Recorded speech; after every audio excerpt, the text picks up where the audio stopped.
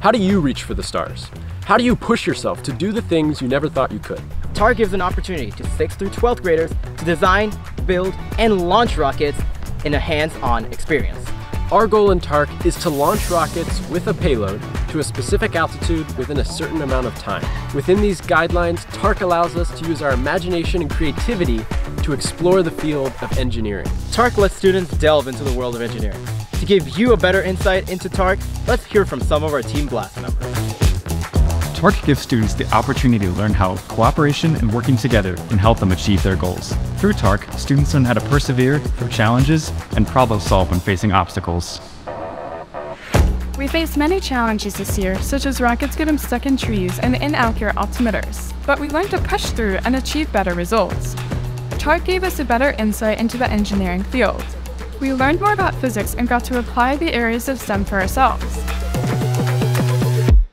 We held many, many meetings in the span of eight months, both over Zoom and in person, in which we discussed rocket design, met with our mentors, and figured out how to tackle our various challenges. This is where we put all of our hard work to the test. This is where we launched all of our rockets and tested all of our hypotheses and ideas. TARC is more than just a place to learn about rockets. It's a place where we can learn and grow together. So tell us, how do you reach for the stars?